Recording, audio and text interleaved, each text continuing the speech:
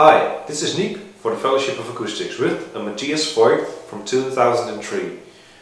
Uh, Matthias Voigt is a German luthier out of uh, Leipzig, Germany, and he makes some beautiful instruments. Uh, this is one of his instruments he made.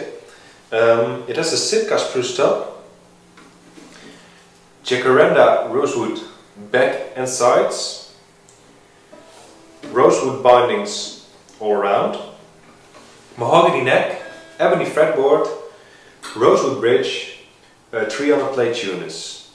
As you can see it has been played a lot the last 10 years, uh, but it also makes it sound really open.